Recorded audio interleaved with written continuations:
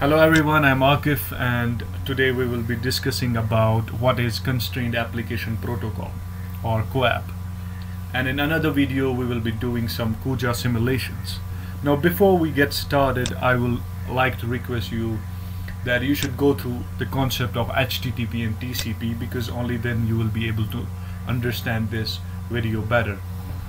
Now, what is Constrained Application Protocol? The name itself suggests that it's an application layer protocol. So why was there a need to come up with a protocol when we have already some existing protocols like HTTP? The answer to this lies in the fact that in um, coming future we will have this issue of heterogeneity where there will be a lot of devices with different uh, resources with different constraints and specifications on internet. There will be low power devices with limited bandwidth with limited resources uh, and all these devices uh, are, work with different protocols. And then there are already exist